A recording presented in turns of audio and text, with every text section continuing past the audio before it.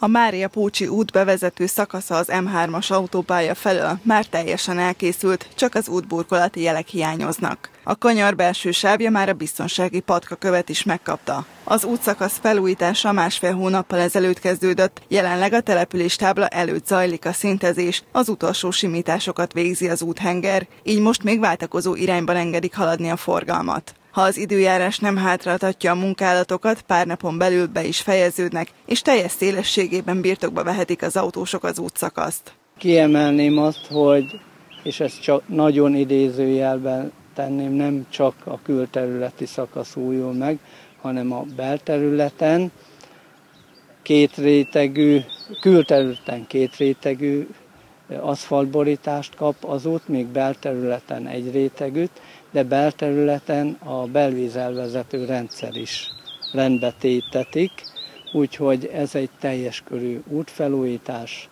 ami a település központját és az M3-ast köti össze. Reméljük, hogy a búcsúsok örülni fognak ennek a fejlesztésnek. A búcsúsok és természetesen az itt lakó Mária Pócsiak is.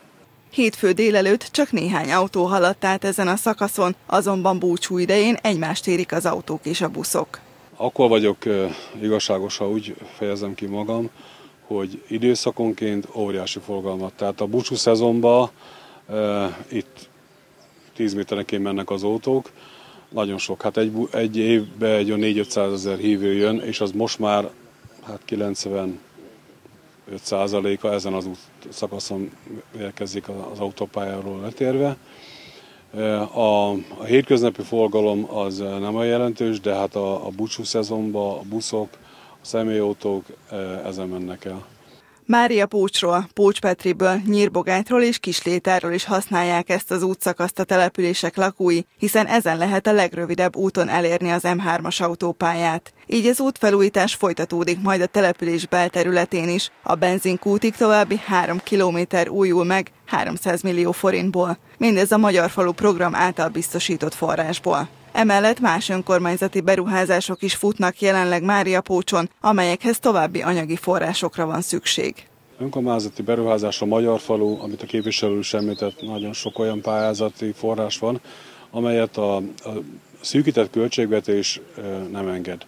Tehát amikor az adósság konszolidációt elfogadta a kormány, akkor ki van centizve a önkormányzatoknak a mozgástere, tehát abban nagy luft nincsen. Maradt a iparizési adóbevétel, aminek ugye tavaly a felét a vállalkozónál hagyták, felé került az önkormányzathoz, a súlyadó nem került az önkormányzathoz, tehát a pályázati forrás a Magyar Falu, illetve a belügyminisztériumi támogatások, amivel kapaszkodunk mi is, meg szerintem minden önkormányzat. A térség országgyűlési képviselője a sajtótájékoztatón bejelentette, a belügyminisztérium múlt heti döntése alapján a térségben 14 település belterületi útja újulhat meg 300 millió forintból, a Magyar Falu program pedig további 9 településnek biztosít ugyanilyen összegű forrást erre a célra.